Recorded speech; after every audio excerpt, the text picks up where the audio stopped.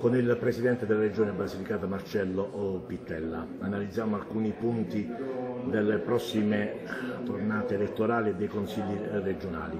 Presidente, iniziamo con l'ospedale della Val d'Agri. Qual è il suo parere in proposito e la programmazione del Consiglio regionale?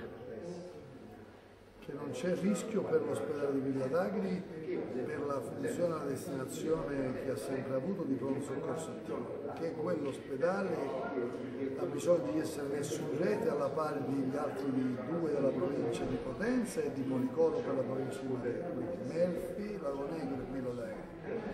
Più Policoro, tutti dentro una rete dell'emergenza e dell'urgenza in modo che possa dialogare con strutture come il San Carlo e il DEA di, secondo livello come Matera e creare le condizioni perché vi sia più funzionalità, più certezza nella risposta alla domanda di salute e rispetto alle leggi che oggi limitano molto il reclutamento del personale per la pubblica amministrazione sanitaria, più diciamo così, altre limitazioni, noi stiamo provando a mettere in campo questa sorta di riorganizzazione. Lo faremo discutendo con le parti interessate, le comunità, le aree, i territori, i medici, il personale tutto e con i comitati. Ecco, questo nostro metodo con il merito mette in campo un'iniziativa, a mio giudizio molto coraggiosa ma necessaria della Regione Basilicata per evitare che altri, magari qualche commissario di turno ministeriale, venga a farcelo creando molti danni. Presidente Vitella, facciamo un resoconto di queste amministrative in Basilicata, un suo parere. Ma io in Basilicata, forse anche a differenza di quanto è accaduto in Italia, vedo il centro-sinistra del Partito Democratico in maggiore salute.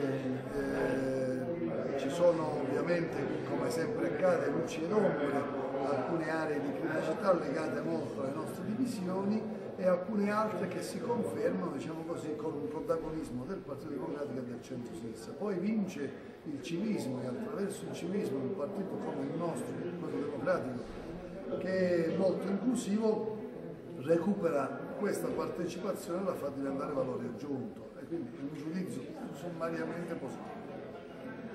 Presidente, concludendo naturalmente eh, parliamo di infrastrutture. Eh, la Basilicata attende il potenziamento della, della falla, collegamenti di Matera e potenziamento delle infrastrutture per la Basilicata. Qual è il, il resoconto ad oggi? Il resoconto è sicuramente positivo nei termini di rapporti e condivisioni e anche sostenibilità finanziaria dei programmi che abbiamo condiviso con il Governo nazionale e con il Ministero preposto.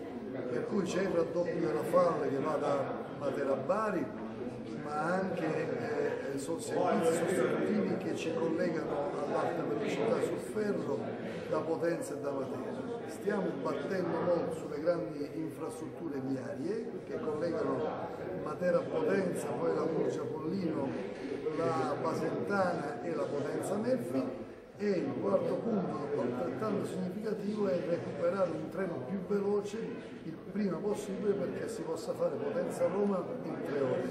Fare questo con la freccia d'argento o con diciamo così, un treno proprio particolarmente più, più dotato, più, significativamente spinto sull'attuale tratta ferroviaria è una grande sfida, a mio giudizio risultato se dovessimo ottenerlo come io auspico credo storico. Tra questi programmi, Presidente, anche il raddoppio FAL Matera Bari?